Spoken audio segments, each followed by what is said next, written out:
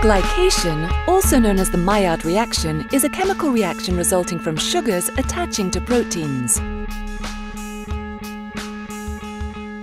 Glycation occurs in all proteins of the body.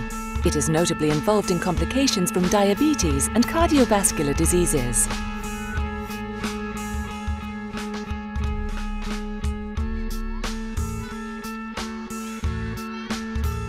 In the dermis, elastic and collagen fibers are the protein structures most affected by glycation.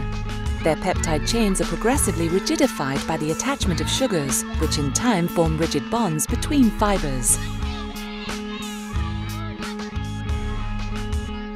In the same way, glycation affects capillary vessel walls, bringing about a decrease in vascular elasticity and an alteration in microcirculation. Fibroblasts, which are at the origin of the renewal of different elastic and collagen fibers, are also subjected to glycation, mainly with cytoplasmic proteins. AGE, advanced glycation end products resulting from these reactions, are very hard to metabolize.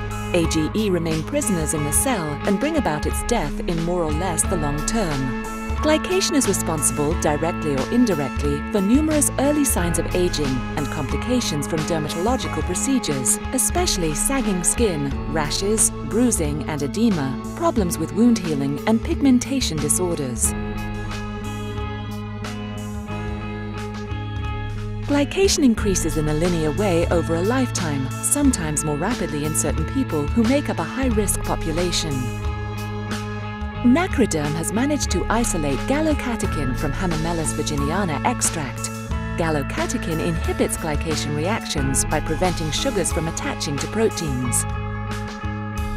They are formulated at different dosages and associated with complementary ingredients with the aim of controlling the consequences of skin glycation.